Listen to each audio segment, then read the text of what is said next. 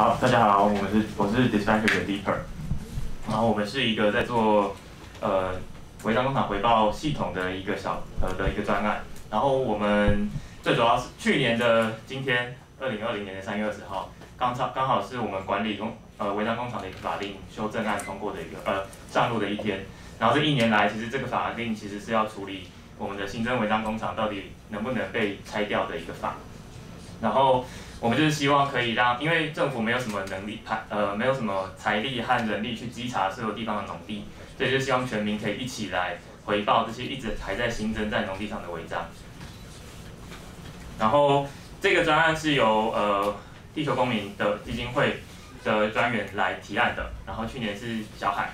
呃前年的时候来提案的，然后呃我们是一个致力于环境保护，呃山林花呃山林国土，然后环境污染。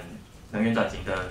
呃环保团体，然后先来跟大家补充一下违章工厂有什么样的危害，就是为什么我们要做这个系统？因为有些人可能会觉得违章工厂是我们台湾的也是一个经济命脉，然后但是我们知道说现在这些新增的违章工厂，呃，他们本身已经不是过去那个有有有有经济贡献的的工厂了，而是现在这些持续的造成污染它就是有可能会大火，然后会造成旁边农民非常多呃常多的，就因为这些大火之后。都不会有人来负责这些废水啊，或者是旁边的污染的的的的处置，所以其实这些违章是其实是让整个国家跟我们的粮食安全受到非常非常大的威胁。对，然后目前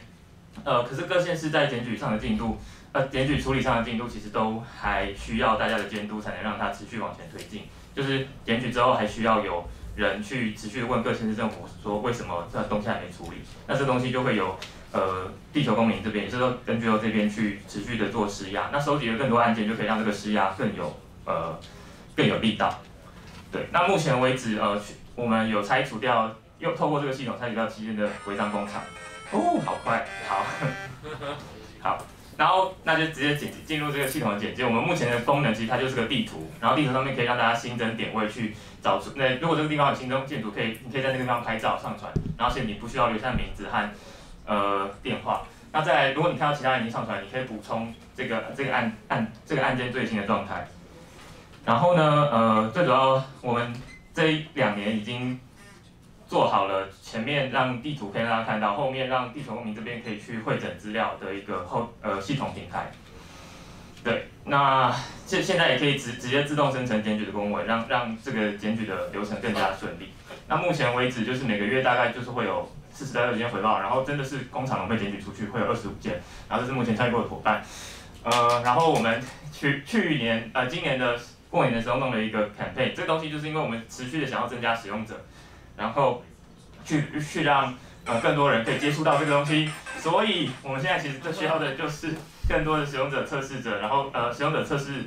的的研究者，然后可以电访使用者的人，然后可以来跟我们讨论在地推广，如何去把这个东西推到更多乡乡乡间，让更多人使用。